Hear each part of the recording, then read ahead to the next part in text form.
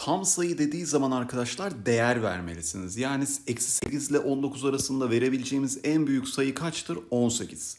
Eksi 3 ile 12 arasında alabilecek en büyük sayı kaçtır? 11. Toplamları böylece en fazla 29 olur. A ve B negatif tam sayılardır. A bölü B eksi B bölü B diye ayırabilirsiniz bakın bunu. A bölü B içler dışlar çarpımı yok, yapmak yok arkadaşlar. Bilinmeyen varsa aman lütfen dikkat edin.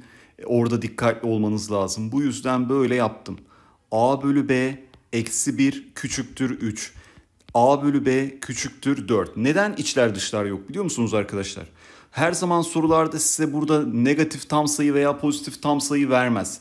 O yüzden alışkanlık edinirseniz bodoslama içler dışlar çarpımı yaparsanız bilinmeyen sayılarda B'nin işaretinin ne olduğu bilinmeyen durumlarda hata yaparsınız. O yüzden bana güvenin. Siz her zaman ya payda eşitleyin ya da böyle buradaki eşitlenmiş paydaları ayırın. Böylece A bölü B'nin 4'ten büyük olduğunu görelim. Negatif tam sayıları olduğuna göre alabileceği en büyük değer için B'ye arkadaşlar B'ye verebileceğim en büyük sayı tabii ki eksi 1 ve A bölü B'nin 4'ten büyük olması için haliyle A'ya verebileceğim en büyük sayı kaç? Eksi 5. Dolayısıyla toplamlarına bakalım. Eksi 5, eksi 2, eksi 7'ymiş arkadaşlar C şıkkı. Tam sayı dediği zaman arkadaşlar değer veriyoruz. Eğer tam sayı demezse değer vermiyoruz. Dolayısıyla burada A'nın alabileceği değerlerin toplamı için şimdi ne söyleyeceğiz bir kere? Eksi 3 B 0 aralığındaysa B eksi 2 olabilir. Eksi 1 olabilir başka da bir şey olamaz. Dolayısıyla eksi 2 olursa eksi 4 artı a eşittir 10'dan a 14 oluyor. Eksi 1 olursa arkadaşlar eksi 2 artı a eşittir 10'dan a 12 oluyor. Toplamları 26 geliyor. Eğer tam sayı demeseydi normal eşitsizlik çözecektik. Çekmecenin bir kısmı giriyor ya arkadaşlar. O zaman şu dışarıda kalan kısım yani şurası demek ki x artı 30'dan küçük. Peki burası neye eşittir? 240'dan 2x artı 40'ı çıkartırsam burayı bulurum değil mi? Çünkü şuranın uzunluğu 2x artı 40'tı geriye bu kalır. Haliyle 200 eksi 2x oldu arkadaşlar. Çekmecenin bu dışarıda kalan kısmı. Bu da neyden küçüktür? x artı 30'dan boyu çünkü bunun tamamı bu. Dolayısıyla 170 küçüktür 3x oldu. 170 bölü 3 küçüktür x. Bakın burada değer vererek gidemedik çünkü bize x tam sayıdır dememiş. Dolayısıyla buradan yararlanarak 170 bölü 3 yaklaşık böyle 56 küsür bir sayı. 56'dan büyük sayı arkadaşlar en az 57'dir. Böylece diğeri de 58'dir. Toplamları iki tane en küçük sayının 115 oldu. C şıkkı geldi. 6 ile 4'ün EBOB'u nedir arkadaşlar? 2. İkisinin de ortak bölündüğü sayı. EBOB 24 36 nedir? 12'dir arkadaşlar. Dolayısıyla 2 ile 12 arasında bir tam sayı. Sonra ekok 4 5 nedir? Aralarında asal sayıların ekokları çarpımlarıdır. 12 ile 18'in e, ok eki nedir arkadaşlar? 36. Dolayısıyla 12 ile 36 arasında e, pardon 20 ile 36 arasında alabileceği en büyük sayı nedir? 35. Neden en büyük dedim? Farkının en küçük olması için y maksimum olmalı. 35. Sonra arkadaşlar geldik 3x kısmına. Burada da x'in alabileceği en küçük değer nedir? 3. 3 kere 3 9 oldu. 9 eksi 35'ten cevabımız eksi 26 geldi. Yine tam sayılar denmiş arkadaşlar. Tam sayı dediği için eşitsizlik çözmeyeceğiz, değer vereceğiz. Şimdi a karenin arkadaşlar alabileceği en büyük değer kaçtır? Onu bulalım. Haliyle tabii ki burada alabileceği en küçük sayı eksi 4 normalde ama bunun karesi büyük geliyor. O yüzden eksi 4'ün karesi 16 alabilecek en büyük sayı oldu. Sonra b'nin arkadaşlar en büyük değeri ne olacak kare olarak? 3. Yani karesini alırsak 9 oldu arkadaşlar. Toplamları 25 geldi. Alacağı en küçük değer eksi 5 ile 4 arasında bir sayının karesi en az sıfırdır. O yüzden bakın a kare sıfır olur. B'de arkadaşlar 1 olduğu için karesi 1 olur. Demek ki bu da 1'miş. Dolayısıyla 25 ile 1'in toplamı soruluyor. B şıkkı 26 oldu. A eksi B bölü B derken arkadaşlar aslında bize bakın şu mesajı veriyor. Ee, A bölü B eksi B bölü B'den dolayı yine eksi 1 olacak. Bak böylece A bölü B arkadaşlar 3 olur. Bence buna alışmak lazım. Çünkü eşitsizlik olduğu için içler dışlar çarpımı yapamayacağız. Yapmamalıyız, ona alışmamalıyız. Çünkü Burada her zaman size bunların işaretini vermeyecek. Alışkanlık nereye götürüyor biliyor musunuz size? Aman boş ver ya bu soruda yapılır falan diyorsun. Sonra yapman gereken, yapmaman gereken soruda da yapıyorsun. O yüzden bu şekilde işin içinde paydada da bilinmeyen sayı varsa siz beni dinleyin. Böyle yapın arkadaşlar. A bölü C dolayısıyla 5'ten küçük. Şimdi negatif tam sayılar en fazla değerini istiyor. O zaman buradan arkadaşlar en fazla olması için B'ye eksi 1 versek mecburen haliyle A'ya da kaç vermemiz gerekiyor arkadaşlar? Eksi 4 verelim ki mecburen 3'ten büyük çıksın. A'ya eksi 4 verirsek C'ye en az kaç verebiliriz? Pardon en çok kaç verebiliriz arkadaşlar? Tabii ki burada da C'ye eksi 1 verebiliriz. Birbirinden farklı demiyor sonuçta.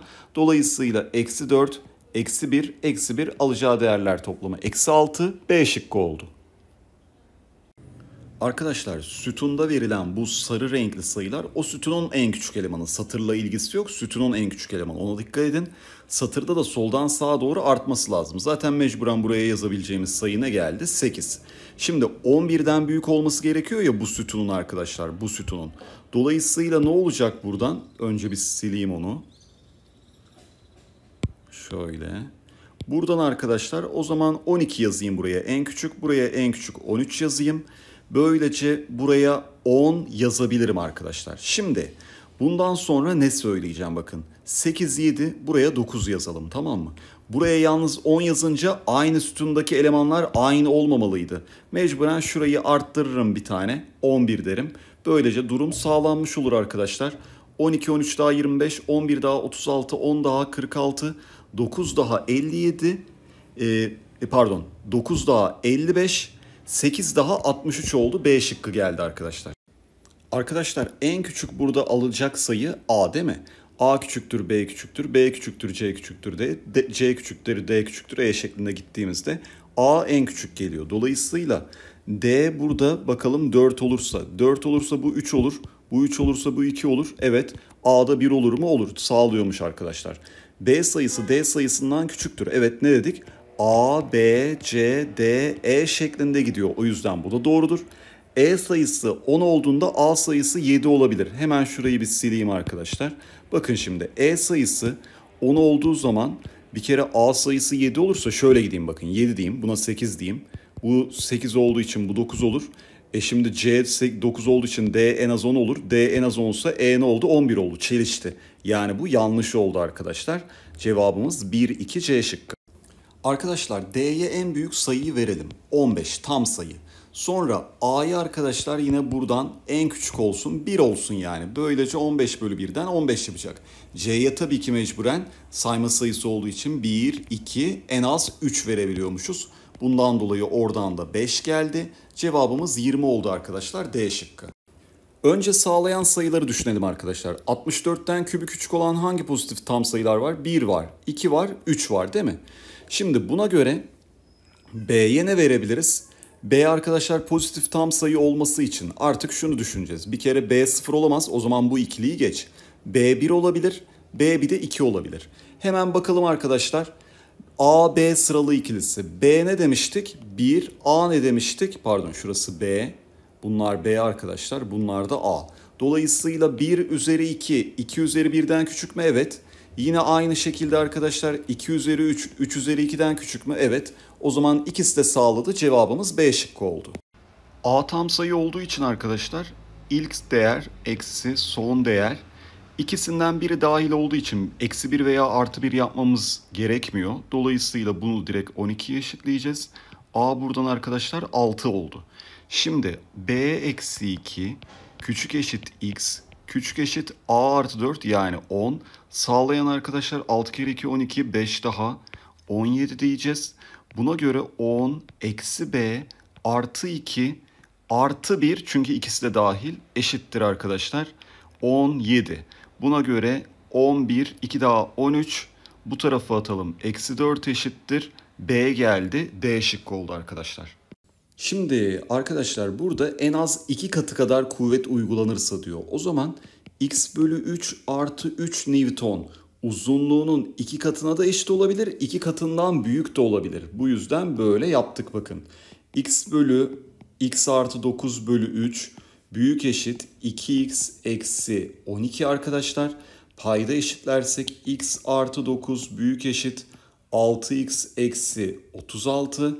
Haliyle arkadaşlar 45 büyük eşit 5x 9 büyük eşit x oldu. Yani alacağı en büyük tam sayı değeri D şıkkı 9 geldi. Her satır ve sütuna arkadaşlar 1, 2, 3, 4, 5'ten bir tanesi geliyor. Şimdi buna göre düşünelim. 4 ve 3 var bu satırda arkadaşlar. Dolayısıyla buraya 4 ve 3'ten birisi gelemez. Burada da şimdi bakın 5 ve 2 var. Ona göre düşünmeliyiz. 3'ten büyük olacak bir sayı. O zaman oraya ben 4 yazarım. Burası 4 olsun arkadaşlar. Sonra buraya da arkadaşlar 4 bundan büyük olduğu için 2 yazalım. Çünkü 4 3 var. Ee, buraya mecburen ya 5 ya 2 yazacağız. E 4 5'ten büyük olamayacağına göre sarı e, kareye mecburen 2 yazacağım. Bak böylece 5 oldu. Şimdi yine aynı şekilde arkadaşlar devam edelim. Ee, bundan sonra en kolaydan bakalım. 4 neyden büyük olabilir arkadaşlar? 3 var. O zaman buraya 1 yazarım bakın. 3'ten büyük olduğu için de hemen 5 yazarız bu kareye. Başka arkadaşlar 5, 4, 3 zaten var. O zaman 5'ten büyük olacak pardon 5'ten küçük olacak burası. Şimdi arkadaşlar aynı satırda 2 de olduğu için buraya 1 yazayım ki sarı kareye de 2 kalsın. Hep eşit mi değil mi diye dikkat ediyorum bakın. İkinci satırda 2 olduğu için buraya 2 yazamadım. 1 yazdım üste 2 yazdım. Dolayısıyla 5 olduğu için arkadaşlar buraya baktığımız zaman da artık bir tek ne kalıyor? 3 kalıyor. Orayı da kurtardık. Şimdi gelelim e, bu son sarı kareye ne yazabiliriz diye arkadaşlar bir bakalım. Şimdi 5 var 4 var. Burada da arkadaşlar 3 var 4 var. Şimdi 2 yazalım buraya da. Buraya da 1 yazalım ki. Çünkü başka sayı yazamam. 2 büyüktür 1 olacak şekilde yazabiliriz. Demek ki 2, 1, 3 ve 2 arkadaşlar. 5, 3 daha 8. Biraz böyle ters bir soru ama süre kaybı da yapma ihtimali çok yüksek olan bir soru. E, bence o kadar böyle basit diyebileceğimiz bir soru değil.